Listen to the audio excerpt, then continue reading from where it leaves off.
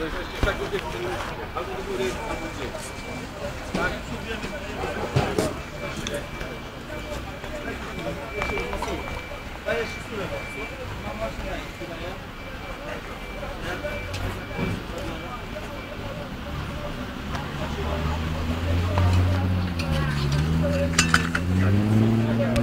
Przepraszam bardzo, bo ja jestem świadkiem, jestem na przejściu mało, to nie się, jak będę potrzebny. Najprawdopodobniej najlepiej się zapytaj tego policjanta, co tam kieruje ruchem, albo tego, który tam stoi. Znaczy on kazał mi, żebym swoje dane później podał. Ale to nie nam, nam nie jest Ja rozumiem.